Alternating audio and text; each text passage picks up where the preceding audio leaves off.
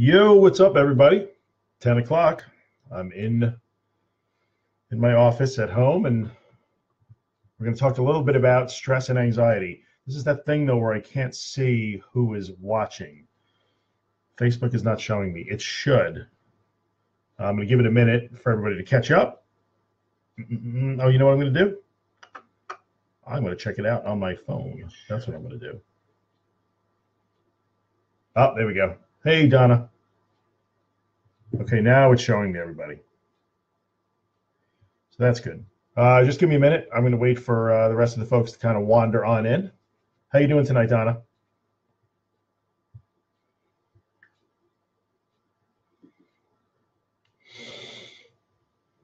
Let's see. Is it too? I have a fan running over there. I don't know how loud it's going to be. Hopefully, it's not too loud. 10 o'clock Eastern. It was a last minute decision. Sorry. what are you going to do? Next time I'll plan a little bit more ahead of time. And actually, at some point, we're probably going to do one. Um, I'm going to talk to Holly and we'll maybe do one like a Saturday morning or Saturday afternoon where it's okay. Um, it's, you know, like early afternoon our time in the US. And Holly is like six hours ahead of us where she lives. So we'll do one together. You know, we'll do live. A few people have asked for that. All right, I'm looking at five. I can't see who's here. I see four or five people, but I guess we'll get cooking anyway, and everybody can kind of join in as they go. I guess if you're watching, just use the comments and say hi so I know you're there because I can't tell who's here. Does it let me see? Doesn't let me see. Uh, so anyway, what I wanted to talk about tonight was the topic of stress and uh, what happens when you're like stressed and you're dealing with anxiety. What up, Ben? My buddy Ben. Ben and I go back many years with this stuff. Um, so yeah, when you're dealing with stress, um, high levels of stress, I get. I'll just kind of relate my experience over the past couple of months, uh, a couple of months, couple of weeks, really, especially. But I just have a lot going on. There's a, a tremendous amount going on in like every aspect of my life, and especially the last week or so. Um, hey Jeff, uh, last week or so, it's just kind of stress upon stress upon stress, just kind of piling up, and uh, you know it can take a toll. So you know, I'm feeling it. I'm not immune to feeling stress. And I think what winds up happening for people like us is when we feel stress, um, sometimes that stress can manifest as fear. And I know I, many years ago, I wrote a blog post about that. I, I, don't know where that is, but maybe I'll put it back up somewhere. Uh, and I talked about when stress becomes fear and the difference between stress for just somebody that doesn't deal with anxiety or panic type issues and, and, and people like us is that often that stress can manifest that as fear. Um, so I'll, I'll kind of tell you that this afternoon I wound up. Um, people ask me all the time, do I still feel anxiety? Yeah, I definitely do uh, on a regular basis. I just don't let it kind of rule my life anymore. Except, um, and then people also ask, do I have panic attacks? And the answer to that is yes. I can. You know, I have panic attacks now and then. So this afternoon I actually had one. Um, we had snow today, and I was shoveling snow uh, which you know makes sense. My heart rate went up and everything. And honestly, this was a little different type of panic attack for me, but it was full blown boom where it flashes really quickly. And I think it was really just a physical expression of stress. It was like I said, stress upon stress upon tra- stress piles up. Then I get out and I'm shoveling snow, which is something that I really didn't want to do. The snow was kind of pissing me off, and uh, and bam, there it was. So I had to drive to my office, which is where I was headed, like kind of in a full blown panic. And I should have actually recorded that. Um, hey, what's up, guys? Um, right, Levi is here. Kim, how's it going? Kathleen, how's it going, Kathleen? So yes, I, I, even experienced a panic attack this afternoon while driving to work, and I think next time that happens, I'll try and video so you guys can see what it looks like um, for me. But um, you know, I think it was really a stress response. So you know, for, for folks like us, often when we're super stressed, it can really start to manifest this fear, and when we're extra stressed, um, we may have more of a tendency to start letting the anxiety run away with us. So I don't know those of you who are here. Oh, I can kind of see just about everybody now, which is kind of cool. Um, yeah, if you're stressed, you know, how does it show up for you? So if you want to, anybody want to chime in, you know, with comments, that's fine. But uh, what can tend to happen is the stress, like I said, can manifest as fear, and then any of those anxiety symptoms and sensations that you're dealing with get magnified, and it becomes uh, much harder to deal with the oh my god thoughts, and you start engaging in that irrational inner dialogue with yourself, and you know it's it's a little rough. Um, and, and stress can make it harder. so somebody actually mentioned, oh, oh, Donna, oh, Donna, you're cutting in and out. How the video? Is anybody else having video problems? Seems pretty smooth for me, but I can't, I can't really tell. Um, so yeah, I, I guess your anxiety symptoms. Hey, Laura, what's going on? Laura popped in. Um, yeah, so anxiety symptoms, physical sensations can be magnified by stress. And then since the stress can kind of morph into fear, we, we begin to fear those symptoms even more. And, uh, you know, it can get a little bit ugly sometimes. So, you know, it, it, it's, it's really something to be aware of. Um, Levi says he gets super irritable and cranky when stressed. Ah, yeah. Um, I usually crave junk food. Well, that's a good good topic for a minute or two. Like, you know, um, some people. I, I think when you see a change in your habits too, that can often, you know, be an indicator that you're stressed. Sometimes we're stressed and we don't even realize it. So if you, some people don't want to eat when they get stressed. Some people all they want to do is eat when they get stressed. So uh, paying attention to changes in your behavior, you know, sleep issues, and let's talk about sleep for a second too. I'm kind of rambling a little bit, but let's talk about uh, stress causes great anger in me. Jeff, I can I can relate to that to a certain extent. Definitely, um, that's a thing. But uh, so sleep patterns, the things you want to eat and drink. Um, I see Kim talking about drinking calms me. If you're you know likely to maybe turn to medications or even you know uh, things like um, smoking or whatever it may be, um, you got to pay attention to that a little bit. Like are you turning towards certain things that you normally wouldn't turn to that could be an indicator that that you're dealing with stress um, when your anxiety symptoms you know just get really magnified and they're hard to deal with that can be a little bit difficult as well so uh, jeff the stress causes great anger that's a good point i, I can relate to that that is something that uh, sorry uh, that's something that i can kind of relate to is anyone's coming in and out you know we'll take a two seconds here is anybody else Donna's having video problems, or I guess she's losing the the videos. Anybody else having problems? Can't. Uh, it seems okay to me. I can't tell. I can put it on my phone, but uh, I'll do that. My feet is fine. Thank you, Levi. Um, yeah, I think that could be happening. Uh, yeah, I see people coming in and out, and uh, I'm not not really sure.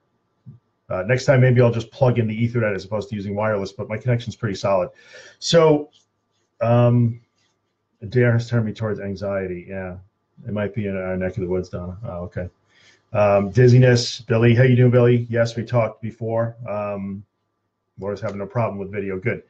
So I'm seeing um, anger. Jeff talked about anger. I can relate to that. I tend to have that. Uh, hey, Ann is here. What's up, Ann? Uh, um, I can relate to the anger thing. I have a, a, a short fuse as it is and uh, sometimes when i'm super stressed that that will ratchet up for me too and it, it can express as anger and for me i can relate that what really helps in a big way is regular exercise i, I have to get to the gym i have to lift um, you know lifting heavy is, is a real stress reducer for me and that helps take the edge off the anger so jeff i don't know if that helps you at all but um, that's what I do to help bring that down a little bit. It doesn't really take the stress away completely, but when I walk out of the gym, I, am really not thinking about stress, and, and, it does dissipate that anger response to a certain extent, which is nice. Um, let's see here. Uh, jaw clenching, Kathleen. Yep, I can relate to that too. Um, I have. Uh, I know I used to do that a lot, so I would say uh, I got a punching bag over Christmas. Yes, Levi, I have one too. I have a heavy bag hanging in my basement, and it's awesome. It doesn't take the place of heavy lifting for me, um, but good, Jeff. You should start going to the gym. Start slow. If you've been inactive, that could be a thing. So you just gotta be careful with that. Um, yes, Donna, it will post as a replay. I'll leave it up on the site, uh, on the page here, so you'll be able to watch it. Um, so that's good.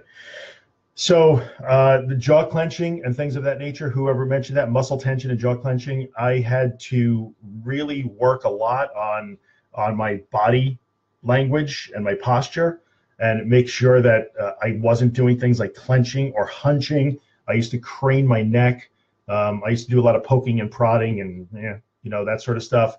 So yes, if you're dealing with muscle tension when your stress ratchets up, one good thing that you can work on is progressive muscle relaxation which teaches you to identify that and then let it go in certain parts of your body. But I try to work on always maintaining like a neutral and a soft body posture so that I don't, when I'm stressed or anxious, I don't wind up, you know, all tensed up. Um, yes, slow is good. yes, that is true, Jeff. I, and I, uh, just a quick, Jeff, if you're going to start at the gym and you haven't been at the gym for a long time, you haven't been exercising, just be aware that when your heart rate is up and you, you know, you get the blood pumping, it can start to feel like the symptoms of, of panic. So some people have a problem with it. So just be aware of that going in. Uh, it's perfectly fine to do that as long as you're healthy, but um, that could be an issue. Um, Billy, I'm doing more minutes by your advice. Very good. I'm glad that's working out for you. Um, yeah, but uh, time over distance, right? Uh, so, Levi, are we supposed to turn towards stress, like work stress, in the same way we face fears? Uh, you know what? That, that's a really good question. I'm going to say no. I don't think we should necessarily embrace stress. Um, so here's the here's the way I kind of see that. That's a really good question. That's a really good question. So the way I kind of see this is, you know, we could get, hey, Lydia, um, Lydia's coming in from Toronto. Mira, how you doing? Um, nice to have you guys here. So let's talk about the stress and, and Levi's question, should we turn toward the stress? Like I always talk about turning toward the anxiety to face it. I think the answer is no, but I the chain here for me is when stress level goes up, your anxiety level can go up. So you do want to take steps to reduce your stress because we can do that. We can actually do that. And those things can be really quickly. Um, Jessica, how's it going? Thanks for coming by. Um, so, and when you're dealing with stress management things like exercise or meditation, meditation, I highly recommend progressive muscle relaxation. Uh, when you find ways to reduce stress, you can reduce your stress level quickly, right away. It's not like when you're trying to overcome your anxiety or panic or agoraphobia and you have to work on those things for weeks or months.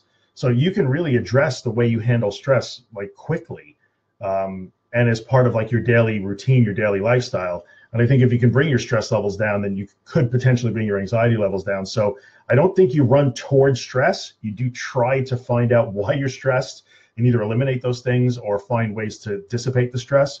But when the stress causes anxiety, you do not want to run from the anxiety. So that's such a good question. And it's an odd answer. Like, no, you don't want to embrace stress, but you do want to go into the anxiety as opposed to running from it. So it's a tough one. I think try and manage stress the, the best way you can be aware of it you know be aware of it. I think sometimes when we're when we're living in high anxiety situations um, we can forget sometimes that there are outside influences. Hey missy how you doing? Thanks for coming by.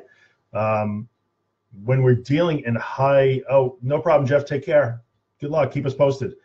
So um, when you when we're in an, an, almost continuous anxiety state i know some people might be um, i know uh, let's see, let me go back up a little bit. Kim, I know that you are in kind of a bad situation right now. It seems to be that your anxiety is running away with you. I noticed by your comment.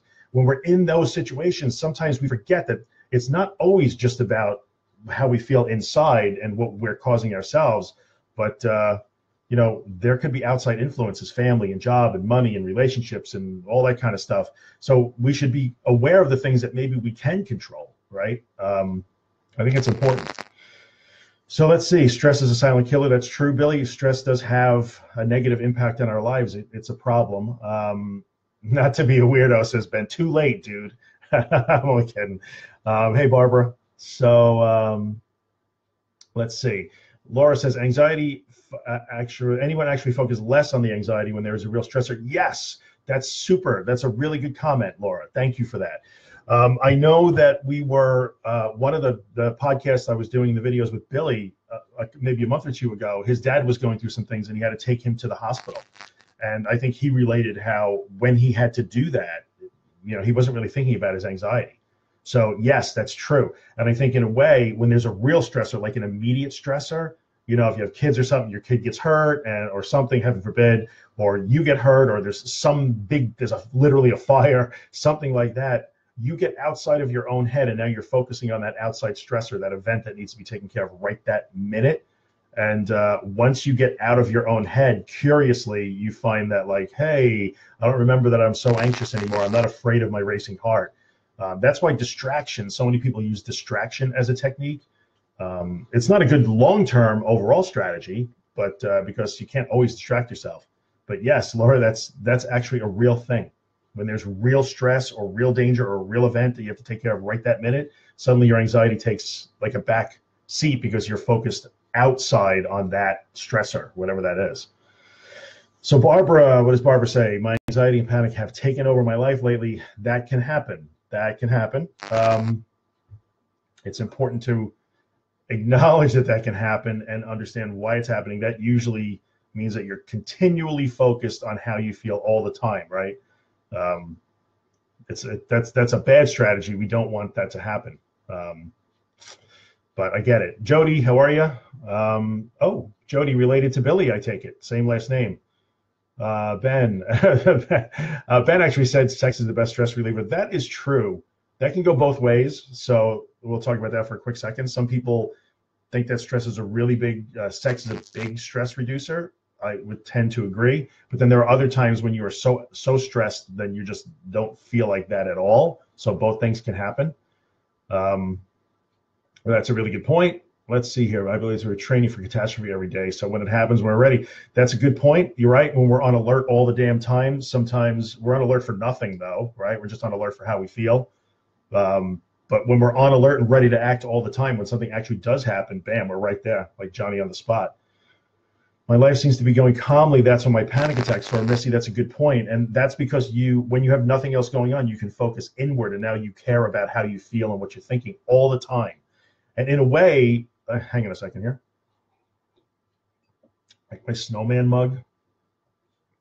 It's very impressive, isn't it? So when you, when your life is quiet, yes, uh, that can happen.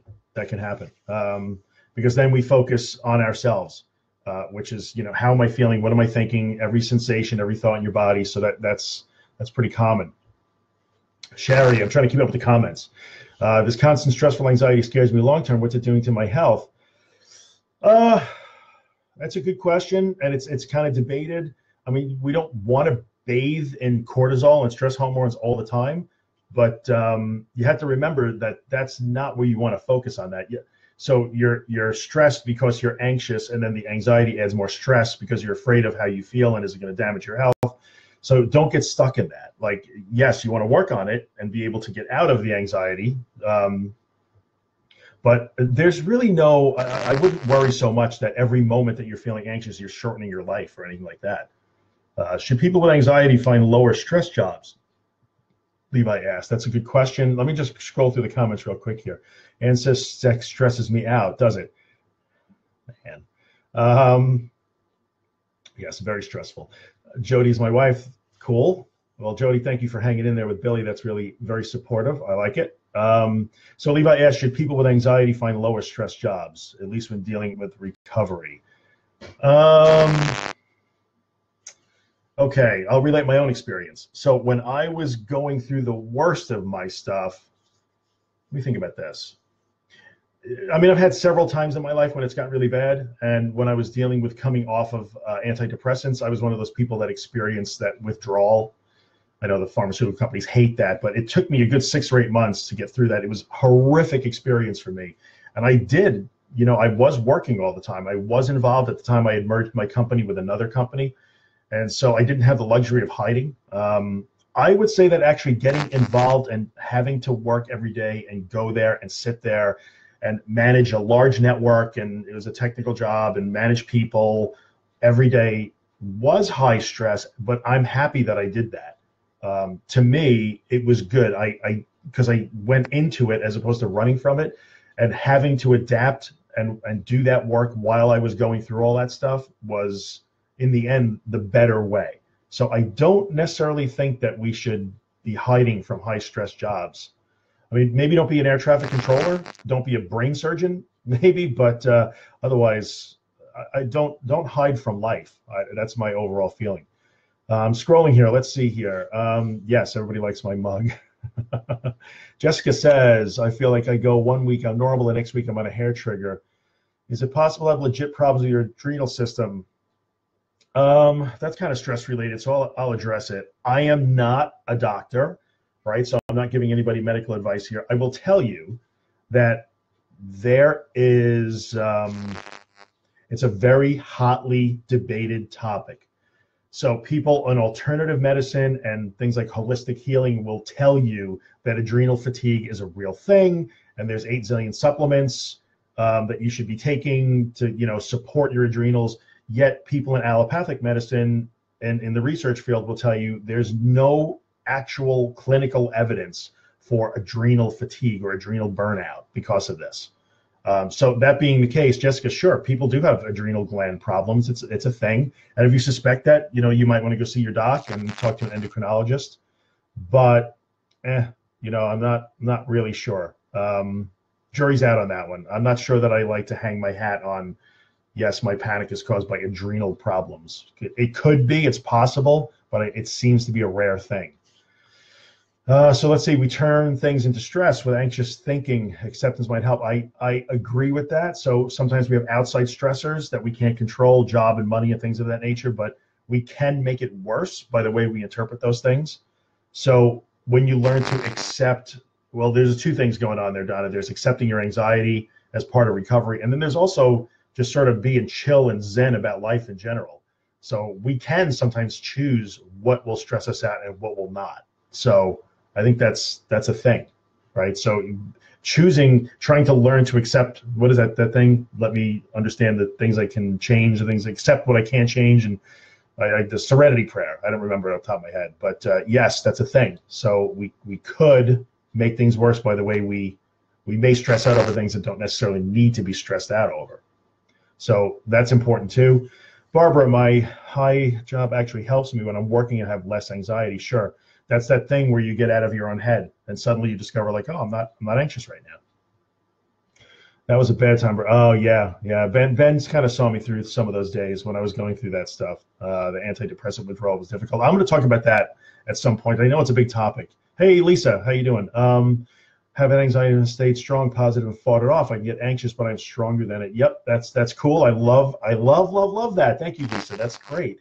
Um, I, I would I would modify that fought it off thing because if you've been following me, it's not necessarily about fighting it, you know. But yes, you you got past it, and it's great, and it did make you a stronger person. I would agree with that hundred uh, percent. That is great. Hope to get to that point. Do you have any advice on morning anxiety? I will talk about that. Um, let's see here. Find it hard to float. That's what you're supposed to have, but it's hard to do. So I'm going to talk about morning anxiety. I'm talking about what Janet just said. I find it so hard to float and accept panicky feelings. Um, Okay, most of my stress resisting my anxiety and bad. Okay, so let's talk about that morning anxiety. So I'm going to talk about morning anxiety. I used to have that in a huge way. So especially when I was sort of chemical scrambled eggs after the antidepressants, I would wake up at three o'clock in the morning, not be able to go to sleep, and my I would be in a knot instantly. So it's instant anxiety the minute I would open my eyes in the morning. So a lot of people talk about cortisol levels and cortisol levels, which cortisol is a stress hormone. It does. We can measure those things, and your cortisol levels can be higher. And if you're watching in Florida, don't be. I know what you're going to say. I'm talking about talking about this, but um, cortisol levels are higher in the morning. They just are. Right. We have natural circadian circadian rhythms and, and chemical rhythms, and we know that cortisol levels are higher in the morning. And so some people kind of talk about that like we have morning anxiety because of the cortisol levels, but I don't know if that's, I'm sure it plays into it. But for me, what I discovered was my morning anxiety was more about anticipation. So morning anxiety could be, and for me, it definitely was. I would open my eyes and immediately think like, oh God, here we go again. Like here comes the anxiety. The day's gonna. I would lay in bed at three o'clock in the morning and think I have like four hours before I have to get into the world again, which I don't want to do. And so the anticipation of having to live the day was so difficult and it would ratchet my anxiety level up. So Billy, that I don't know if you feel that in the morning, but um, that's definitely a thing. It was a thing for me. It was a big thing for me, as a matter of fact. Um, and when I learned, you know, what, what what helped me with morning anxiety in a way, and I think it's a chicken and egg thing. So when I wasn't so when I wasn't anticipating horror for the day, you know, my anxiety level, my morning anxiety went down, and you know, I'm sure my cortisol levels dropped as well. But uh, what helped me was that I would discover it became predictable for me. I would get up in the morning and up early, early, wouldn't be able to go back to sleep. My anxiety level would be through the roof, but I would know I'd be able to predict it by the time I hit 11 or 12 o'clock around noon, and especially by the time we got to five or six o'clock, um, my anxiety level would be down. So I would know, like, okay, well, I feel like crap right now, but I know that later I'm going to feel better. That helped as soon as I recognized that and said, okay, cool, you know, I know this is going to happen. This is just the way I'm going to feel right now. And I kind of accepted that. The morning anxiety started to go away. But now, so let's talk about Janet, who said finding it hard to float. through, you know, um, you know, through those feelings. And, and yeah, we talk about being able to float through that stuff all the time. Um, so part of what I was talking about with the morning anxiety is is that I just learned to accept like, oh, I feel like this now. What's the difference? I felt like this, you know, 68 mornings in a row. So what's the difference? I might as well get up and eat breakfast and get, take a shower and and work and, and go be productive and deal with my kids and just live life. So when I when I accepted it and all the feelings that came along with it, it began to go away. There's no I know it's hard. I know it's hard, but there's no I think it was Ronald in the in the discussion group who posted about how accepting is not a skill, it's not a technique, it's actually a mindset, right? So, you know, just think about that, Janet, if you will. Like, you just have to decide either you're going to accept it or you're not. It's it's tough, but uh, I, I wish I could tell you that there's some sort of technique for accepting the feelings, but you just have to decide that's it. I'm I'm just going to let this go. It's more of a mindset than a technique. So what else we have going on here? Uh, most of my stress comes from resisting my anxiety and bad feelings. Uh, okay, so that's like a self-feeding cycle. That's tough for sure. Um, and again, I, you know, I start to sound like a broken record when I talk about these things, but like, yes, it's uh, when I just kind of embraced it, like, okay, this is the way it's going to be. I'm going to feel like this, or I have these symptoms, and that's it. Um, things definitely got better.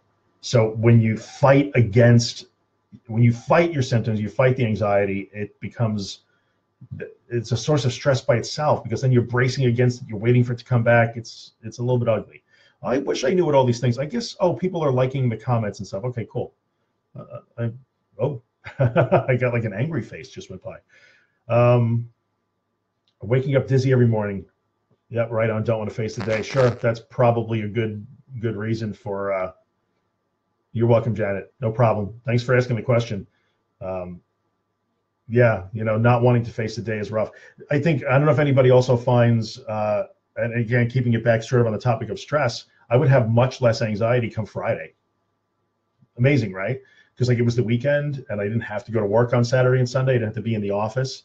I mean, my life was a little bit different. It was more structured. Uh, before that, it was very free form because I, I own my own business and sort of make my own hours. And I might be working at 3 a.m. or 4 a.m. or I might be working at midnight or I might work a regular day. But I did have a period there of a couple of years when I had merged my company briefly with another company that my schedule was regular. So it was like I had to get up and actually go there. Just that life change was stressful. But uh, what I would find is that, oh, like come Friday afternoon, suddenly, like, oh, geez, I didn't feel so anxious because I didn't have that anticipation of, oh God, I have to get up and come here again tomorrow. It's not like I hated it. I didn't hate the work or the job. I liked the people I worked with, you know, and, and you know, I it was something I chose to do was merging the companies together. we, we kind of demerged later on, and I'm, you know, I'm happy for that. That was 10 years ago, more, more now. That was that was a long time. It was 2005 to 2007, so that was a while ago. But if you, know, if you can look and say like, hey, when does my anxiety naturally wane? For me, it was when I I got away from the stress of anticipation. Like, oh, okay, nobody's gonna expect me to do anything tomorrow, so it's I'm good. Um, yeah, that would start to happen. Oh, you're welcome, Billy. That's very kind of you to say. So let's see, 28 minutes. Who's around? We still have seven or eight people popping around. Does anybody else have any other questions? Did I miss anything? I can't tell how how this is going in real time. I could try and fire it up on my phone and see what it looks like. Um, can't really tell, to be honest with you. Let's see. I'm sorry. I'm just going to look. Yeah, not too bad. I'll, I'll, leave it up on my phone too, which is a little weird, so I can see how how how far behind we are. Um, yeah, if there, I guess if anybody has any other questions, anything that you want me to talk about specifically related to stress, I think the overall thing is you know, be aware of outside stressors, understand that sometimes we cannot stop them. We can choose to not stress over some things. So that was a good point. And I think trying to like dissipate your stress is probably a better idea than running toward it. No, we don't want to embrace the stress. We want to try and deal with it and find ways to do that. I know that when we're in high anxiety states, it can be difficult like for me, I want to go to the gym. I want to lift heavy. I want to get that out physically. I want to hit the heavy bag. And Levi, you got a heavy bag, man. Like I love that thing. I love the heavy bag.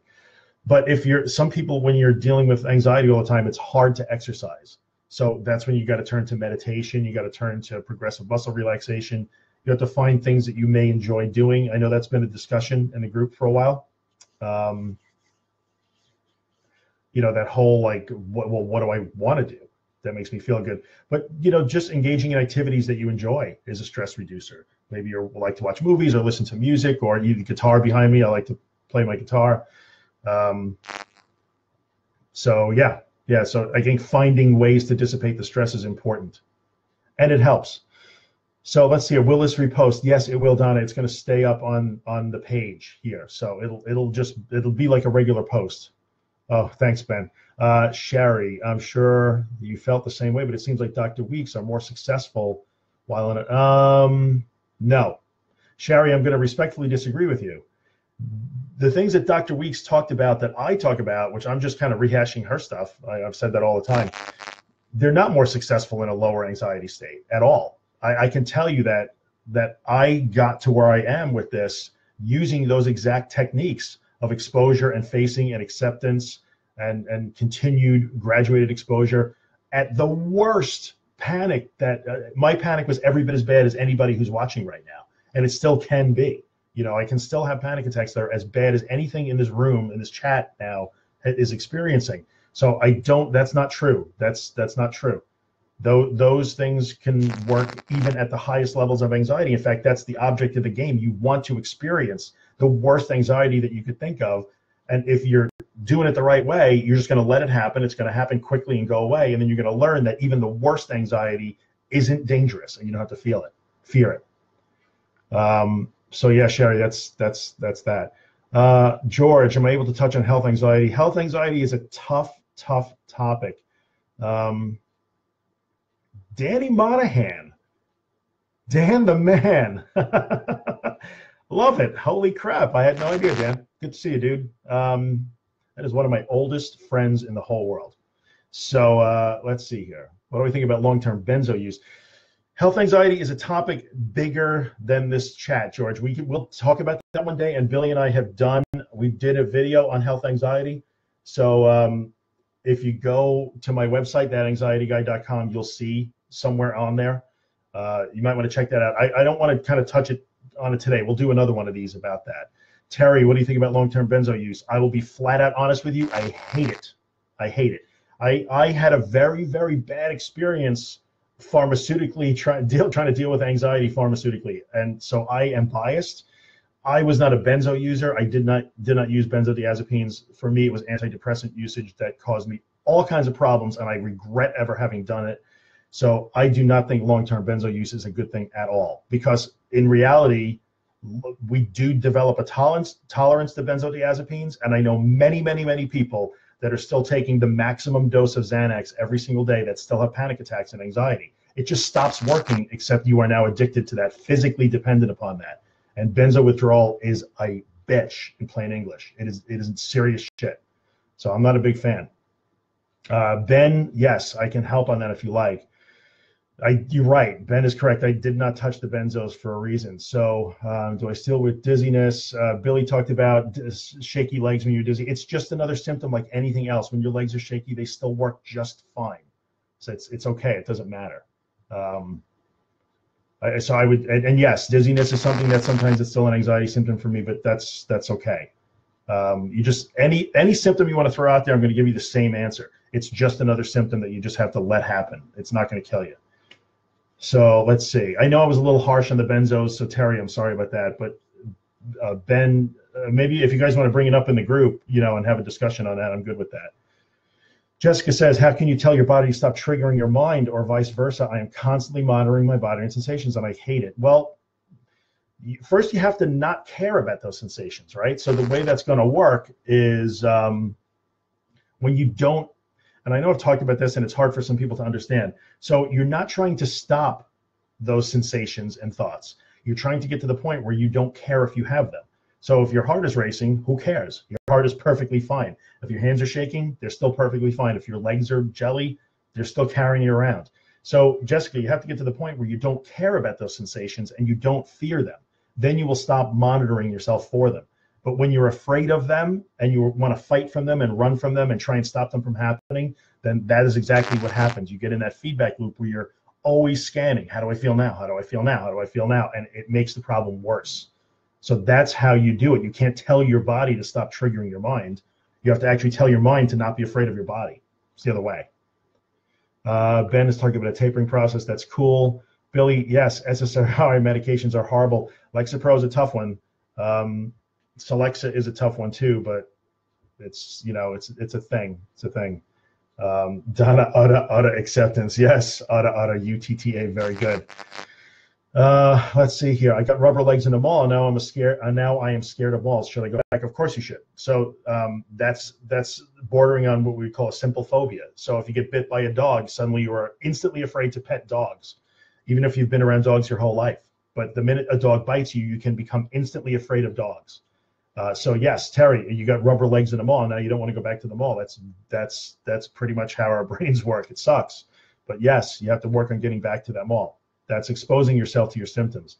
Janet, it sounds so easy. It does sound so easy. Here's what I tell everybody. It's um it is a super simple plan that I always talk about. It can just be really hard to execute because the key ingredient that most people don't want to throw in the mix is you have to be courageous at first right? So the first time you just sit back in your chair and do nothing but close your eyes go limp and breathe while you're in the middle of level 10 panic attack that takes a, a set. Like you gotta you gotta find that courage to do that. Um, but once you find it and once you get that courage and start doing that it gets easier as you go so yes, it is an easy plan, but it's really hard to execute because of the courage thing. Uh, miss your weekly videos on YouTube. Yeah, we're working on it. I'm going to be doing one with Holly soon. Hopefully, we um, Billy and I have been talking again. We're actually working on some actually work projects together. Is there a real reason for SSRI? Says Ben. Not to disrespect anyone. Well, that's a whole topic too. Uh, so I'll tell you, I'll touch on that a little bit. This has nothing to do with stress, but we'll talk about it anyway. Um, for me, it was nine years on in the U.S. We call it Paxil, I believe. I don't know what you call it in the U.K. I know we have people from the U.K. Actually, they're sleeping now, so they're not here. Yes, Paxil. That was the antidepressant I took. The doctor, I was at the worst point, and the doctor at the time was a general practitioner. He gave me the old like, well, if if you had diabetes, you would take insulin, right? And I believed it and I started taking the medication. And sure enough, in two or three weeks, I stopped having panic attacks and my depression lifted. I thought it was the greatest thing ever. But in the end, it was not a good thing because it took away, for me, for me, the uses of SSRI took away everything. No emotion. I wasn't happy. I wasn't sad. I didn't laugh. I didn't cry. Grandparents passed away. My kids were born. Felt nothing. Um, it was bad. It put me in a bad place. I, I gained huge amounts of weight. I, I weighed 100 pounds more than I do today. It was not a good deal. It was not a good deal. Um, and so they work for many people. Oh, look, I, I, didn't have panic attacks, but even then, they stopped working after a while. I was always having to mess with the dose. Luckily, I didn't wind up in that situation where they're adding this medication on top of that. I, I still only took the one, so I was lucky. I was really lucky a lot of people go down that road and you wind up on four and five different medications because one stops working you mess with the dose let's try this one let's add another one it's eh, it's a little rough it can be difficult uh, and honestly you when was the last time that you heard saw a commercial for an antidepressant that, that mentioned the term chemical imbalance they don't they don't say that anymore because even then it was a it was just a theory we actually have no way to measure, and if you're still listening in Florida, we'll take this up later. We have no way to measure the level of neurotransmitters in a living human brain. You have to be dead to measure that. So that that chemical imbalance theory is even acknowledged by the companies who make those medications as a theory. So it's only an assumed mechanism of action. We don't know. So anyway, uh, sorry, I seen you were talking about it. It's been such practice to not believe my thoughts. Yeah, yeah, yeah, totally, totally. Um, Sherry, my story posted to read. Um, I don't know if you're in the. Yes, you know what? It, it is. I'm going to click around a little bit if you guys don't mind. Um, I can put a link in here. We Billy and I did a video together where. Um, I'm sorry. I'm going to look this up and I'm going to post it. Where he kind of interviewed me and I told my whole story. So I will try and find that and I'll throw it in here. Um, let's see here. It's on my YouTube channel. Where is it? It's called Yes, My Anxiety Used to Be As Bad as Here it is. Copy the link. All right, ready? Here it comes. I'll paste it in. Bam. There you go. Sherry, that's that's the link to, to the video where I basically talked for a bunch of time over uh, what my story was and uh, what my anxiety issue was. And you are welcome. Donna, it is practice to not believe your thoughts. This stuff takes time. It takes time, takes time. We're, we're hamsters. okay, so Jessica, I've been on Zoloft for 16 plus years. Okay, Zoloft is, I'm going to get out of my own chat. I don't need this. Sorry.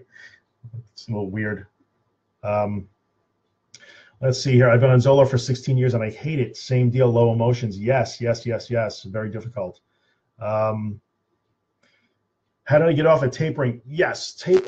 You know, it's funny because there's a bunch of people I'm still friends with to this day that went through that process at the same time as me, and we all met on this website called Paxil Progress, which unfortunately no longer exists. It was run by just an exceptional woman from New Jersey whose son had gone through it, and she started this website.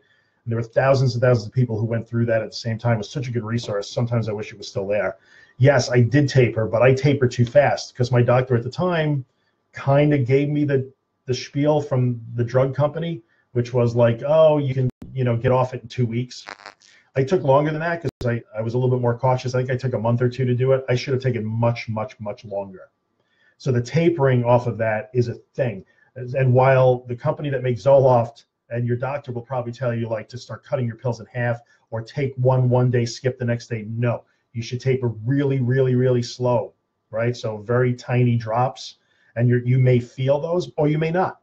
I was one of those, unfortunately, one of those people that um, that felt really bad side effects when I started lowering my dose and get and got off the medication. And it just took a long time to get back to sort of normal and that natural state. But as much as I am biased that I hate those companies and I hate those medications, I will admit that that I am in the minority. You know, best estimates, maybe 30 to 40 percent of people deal with this protracted, what the drug company will call discontinuation syndrome but I know other people who've been on those drugs for a long time that taper over the course of a, you know a few weeks or a month and they don't have a problem.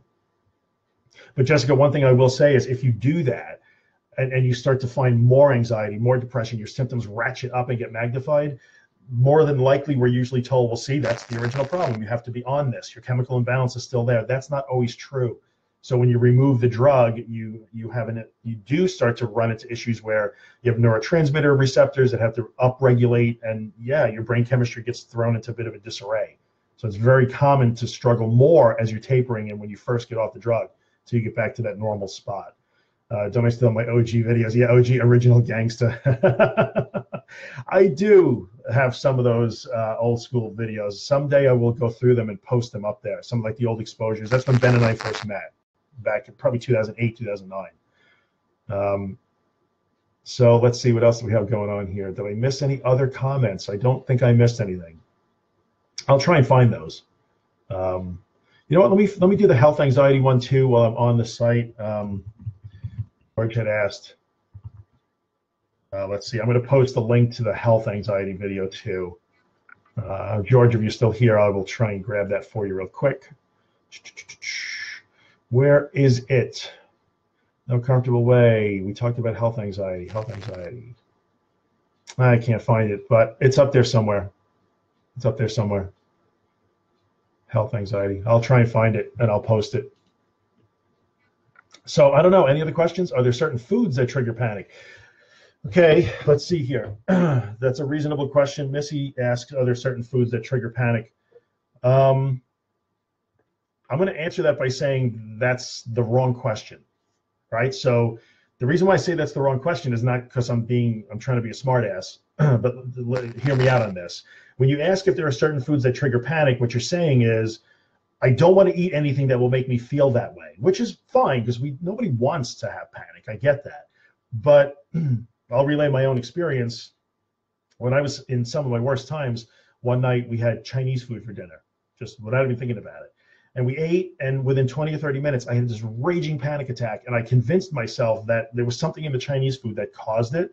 And so i was afraid to eat it for a really long time. And in the end chinese food was not the cause of my panic at all. But the biggest problem was i started to avoid certain things because i was afraid of the anxiety. So yeah i mean you can certainly like you know, caffeine is going to, we certainly, there are food, caffeine will raise your heart rate. That's not, a, everybody knows this.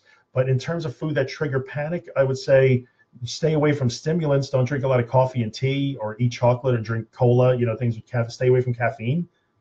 But in the same vein, you know, having having a soda that raises your heart rate could be used as interoceptive exposure. So have I heard of Charles Linden? Hold that thought. I'm going to talk about Charles Linden in a second, and then I'll probably get sued because that's what he does.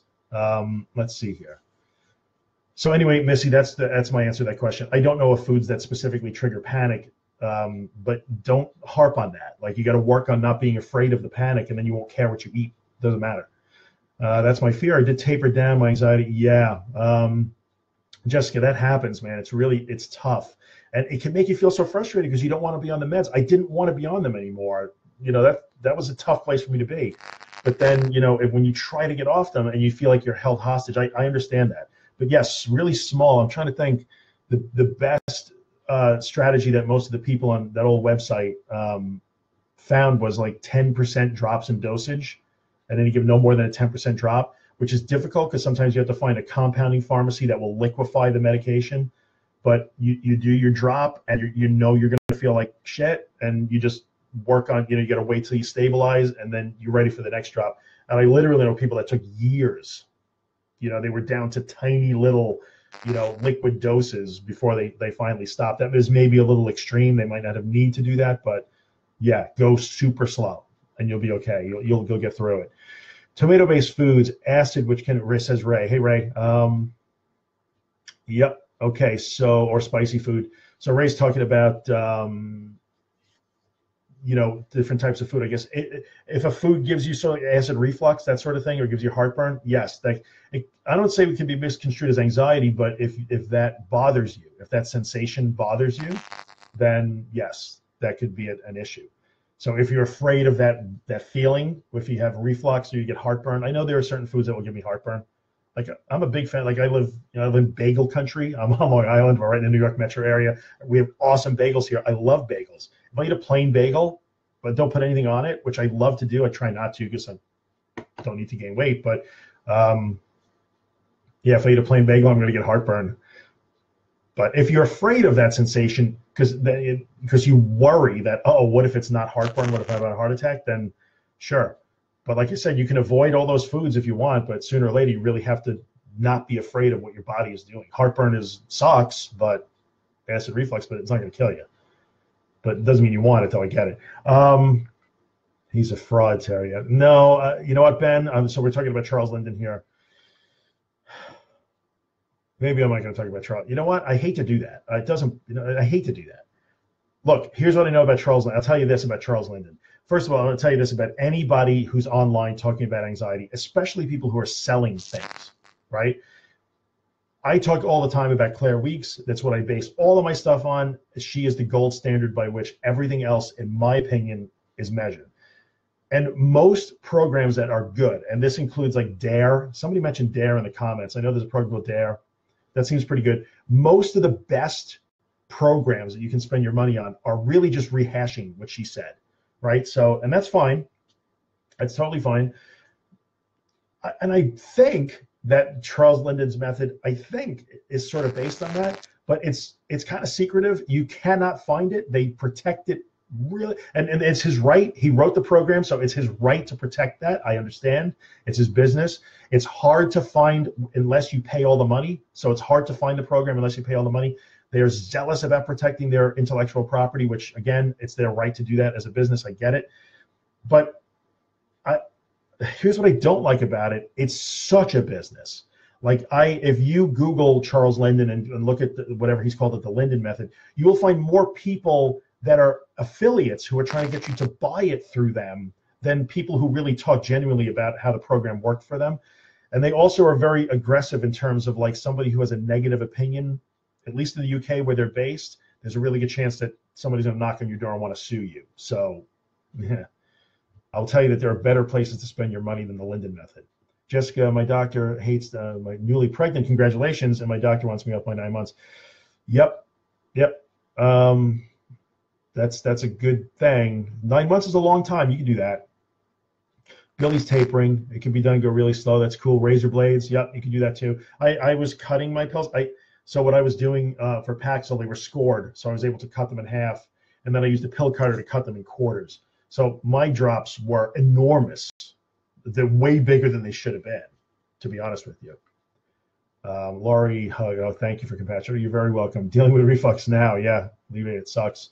Charles helped me a lot. All right, so for Ray, Charles helped you. That that's fine. I have no problem with that. Um, is it the higher level of adrenaline that's causing the high sensitivity level?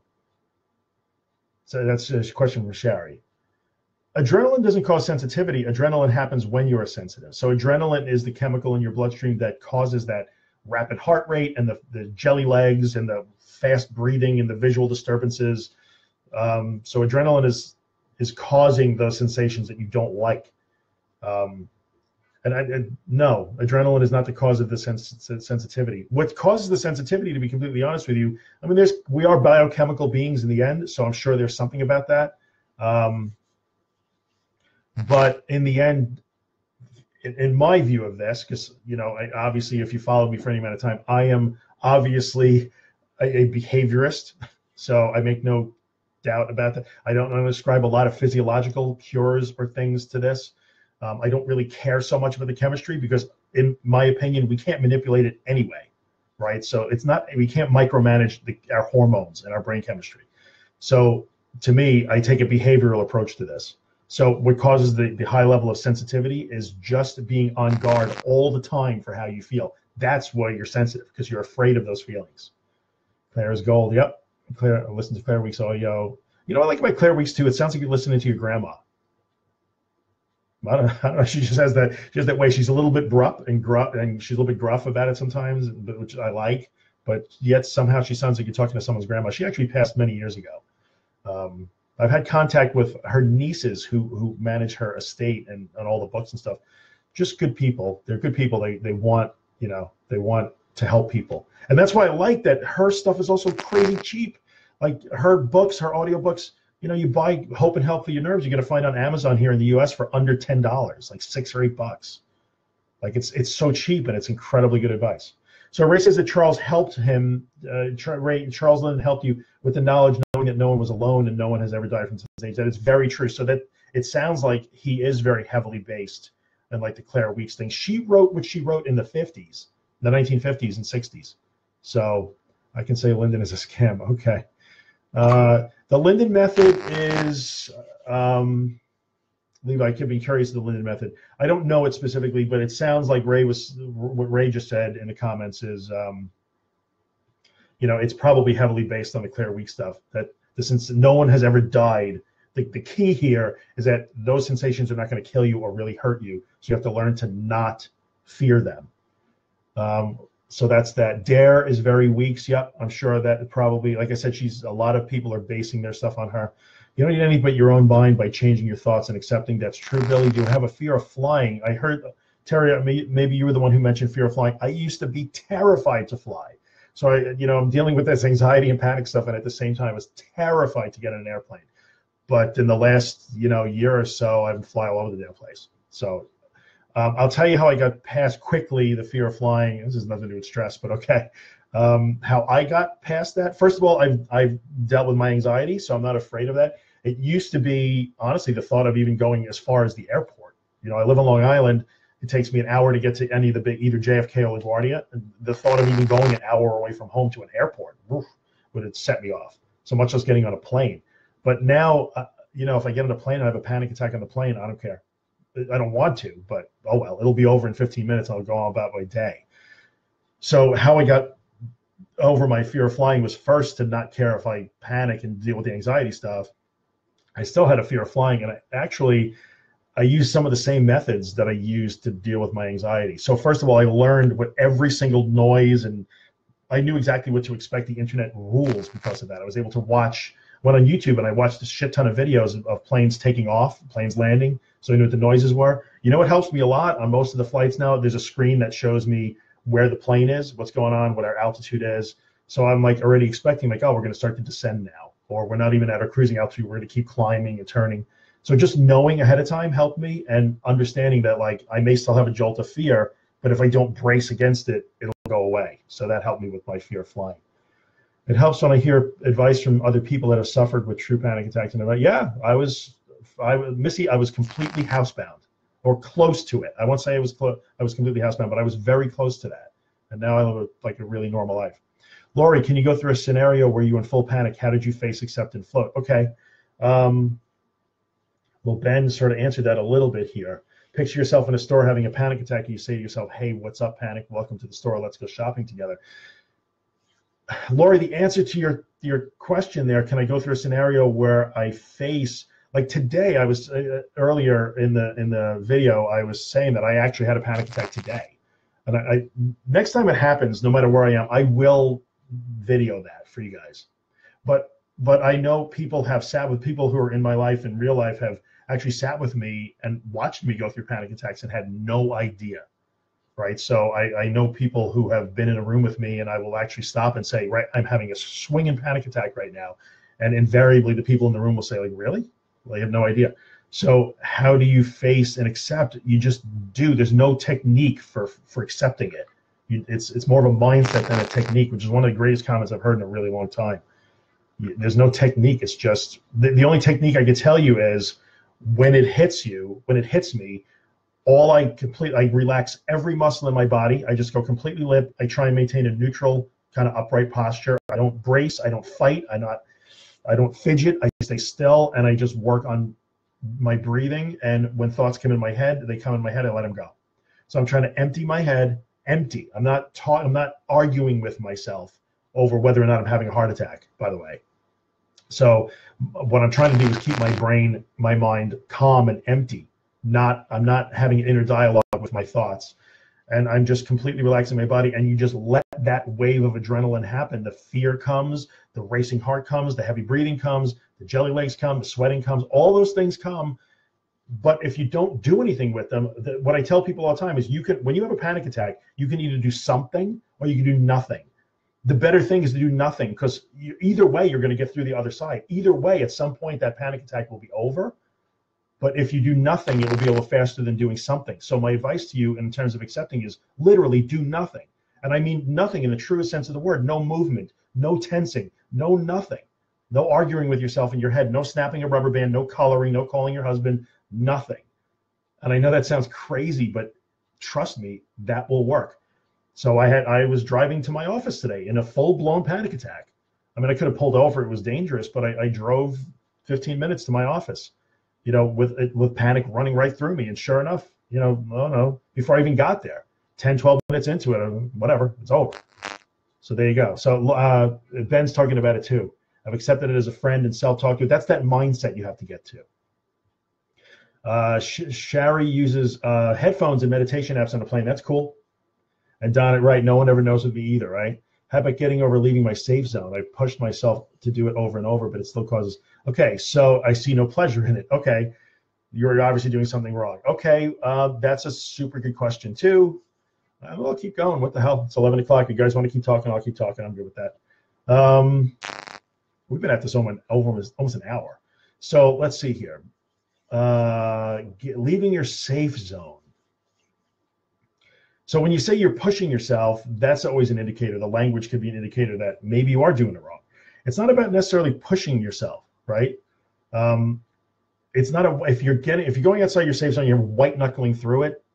That's that's that's just enduring it, and you don't want to just endure it. You actually have to truly relax. So I'm going to say that you're not really relaxing into the anxiety. It's about doing the opposite of what you think you want to do.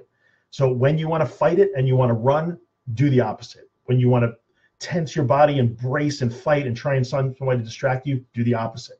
So I think forget your safe zone right now. Stay in it. And my advice would be you have to work on the skill of truly letting that happen. So if you can have anxiety in your dining room, Jessica, then work on having anxiety in your dining room. You don't necessarily have to work on it, you know, 100 miles from your house. It doesn't matter where you are, it matters what you're doing. So work first on truly just relaxing into the anxiety and and I try and use the analogy of of bending in the wind, you know, like a willow tree. So you have that storm is coming at you, and the wind is blowing, and the rain is at you. You're not bracing against it like a steel beam. You're just blowing in the wind like a willow tree, and you snap right back upright again. So you just go soft into it as opposed to fighting against it, and work on doing that while you're in your safe zone. And then you'll find it easier then when when you've mastered those skills, you'll find that you can push a little bit easier. But when you do go outside what is a comfortable area for you, you will experience anxiety. That's supposed to happen. So if you're used to staying in a little five mile zone around your house and you push yourself to go seven miles, you you are going to feel anxiety. That's the point of the exposure. Success isn't that you didn't feel anxiety. Success is that you felt the anxiety, but you relaxed into it and it was over in a few minutes and you stayed in that that larger zone for 10 15 minutes and then calmly went back home that's success so success is it's not that you don't have anxiety success is how you deal with the anxiety that you have uh, best breathing exercise, super easy. Chest shouldn't move. You're breathing in through your nose. Whatever the count is, for me, it's a count in five. And my stomach is what's expanding, not my chest. You notice my shoulders and my chest don't move. And then it's a quick hold. So in for five, out for seven through the mouth. Slow, slow. Um, you what you really care about is the exhale longer than the inhale and what you don't want to do, and most people make this problem, is the big because sometimes when you're in anxiety, you feel like you can't breathe, and you try and do that giant breath where you fill your lungs, and you're expanding your chest, and you and your shoulders go up, and then you do the. So if you find that you're doing that and you're sighing, that's that could be over breathing. And if anybody has ever had where your nose starts to tingle, your face tingles, your toes and your fingers are tingling, or if you've ever had your hands like lock in that claw shape, that's because you're not breathing right. That's those are hyperventilation sy- symptoms. So the breathing is the the exhale, inhale through the nose, breathe into the belly, not the chest and the shoulders, and the exhale out through the mouth longer than the inhale. Doesn't really count.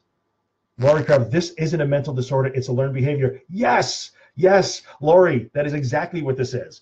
I hate when people call this a disease because it is not. It is not. And again, remember, I'm a behaviorist, so I'm going to approach it from that that standpoint.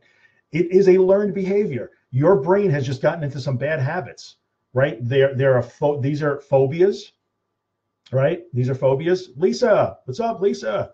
Um, Lisa, my friend, the photographer. She's who needs photography? Go to her, by the way. Lisa von Lerte is now in. The, I don't know if you see her comment there or whatever, but uh, yeah, Lisa, how's it going? Nice to see you here. So um, it's not a disease. It's not a. It's a it's what we call a panic disorder. It's classified as a disorder. It's a cognitive issue. It's not a disease. You're not. There's no break with reality here. Like what happened to the person? I forget who was saying Terry. I think right. Um, I said, yeah, who, you had jelly legs when you went to the mall. Now you're afraid to go to the mall. That's what happens. So what's happening in this situation is you are learning to be afraid of more and more things because they are uncomfortable and we don't want to be uncomfortable. But you can unlearn those things by by relaxing into them and unmasking the fear. The fear is real, the danger is not. So you just have to learn to let the fear be there because you will learn through experience. That's how we unwire that that bad habit that you don't have to be afraid. Um, who just asked me, you basically conquered the anxiety. Why do you still have panic attacks? I don't know. I don't care. I don't, I mean, it's rare that I have a panic attack. I would tell you that the panic attack I had today was almost purely physical. It's just, you know, I really, I'm, I'm incredibly sleep deprived the last, especially the last month. I don't sleep a lot as it is. I'm having sleep issues and just stress upon stress upon stress. And I didn't want to shovel snow, and poof, that was it. That was definitely it was a physical thing for me today. But why do I still have panic attacks? I don't know, but I don't care. That's the that's the point. Um, but yes, I feel like I have conquered my anxiety. I still feel anxiety, but uh, I just don't care that I feel it, and it goes away you're able to deal with it better. Yeah, it doesn't leave forever. For me, it hasn't left forever. I mean, obviously, I have way less anxiety than I used to. Way, way, way, way, way less anxiety. Right? I used to be 24 7, like worried about how I felt, ratcheted up, always ready for like a panic attack. No, I don't have that anymore. But I can still experience anxiety. I just, just not a life changer. We need to desensitize and retrain our brains. That is completely correct. Completely correct. Yes, relax into it, Laura. Yes, you do the opposite of what you think you're going to do the fear is real, the danger is not. I have said that a million times. That is true. And so, for the people in your lives that are around you that see you dealing with these things, and we're over an hour now, probably going to wrap it up pretty quickly. But um, the people in your life that that see you dealing with these things that don't understand, I hear people say all the time, "Well, nobody understands. Nobody understands. We need more awareness." Well, screw that. You don't need no. We don't need more awareness. the reason why they don't understand is that they they don't see the danger because there is none. So think about it that way. So when you're in that high anxiety state and you see your husband or your wife or even your kids, when I was at my worst, my kids were little. I mean, little, like five and seven years old. They were role models for me. My kids were because they just walked around normally, right? They, I would be in a complete and utter like near meltdown, and they didn't. There's no danger. Like they didn't. They knew there was no danger. So th- that's the thing. Like use the people around you to to reinforce that for you. Like they know you're. They don't understand why you're panicking because they know you're in no actual danger. Just you don't know it yet. You have to learn that. We only learn it. We have two ways we can learn. We can learn rationally by reading, um, or what's the best way to say this? We have we have a couple ways to learn. We could read. We could watch other people model tasks or behaviors that we're trying to learn. But the only true way that we actually learn and adopt a behavior is experientially. We have to actually do it.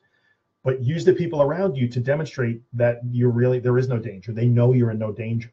But the fear is real. The fear is absolutely real, but the danger isn't. So you have to face the fear to learn that the danger isn't there. Take care, Ben. Thanks for thanks for hanging in. Yes, Donna says lots of people have panic attacks and don't have a disorder. That's exactly why. They just never get to the point where they fear the symptoms. And that's why I say it's a learned thing, right? We're in the same boat. Thanks so much. You're welcome, Ray. You're welcome. So, yep. Thank you so much. Well, you guys are welcome. I, I, I enjoy doing it, so it's no big deal. Uh, hopefully it helped out. All right, so we're over an hour. I am going to wrap it up. Um, I appreciate you guys popping by. This will stay on, so I'll just leave it up on the page. Um, I'm going to ask two favors, though, and it's one favor. If you haven't subscribed to my YouTube channel, do it. Um, it's youtube.com slash that anxiety guy. Um, it helps. There's some YouTube algorithms that are changing, and yeah, so I'm just going to ask you to do that. But otherwise, I appreciate you guys coming by. And uh, you know, if you're not in the discussion group, which I think most of you are, you get in there. You're going to want to be in there. Uh, and yeah, it's going to be good. So this is my third high. I know it can be. It absolutely can be beat. I, and you guys are all. You can all do this. I'm nothing special. I'm just some goofball from New York. So if I did it, you guys are going to be able to do it too, right? So you're welcome. You're welcome, Janet. And I, Lori, I will do more. I'll, I'll do, I'll do it as my schedule allows. It's a little bit difficult because I'm running businesses and stuff. But all right, folks, have a good night wherever you happen to be. I'll see you next time.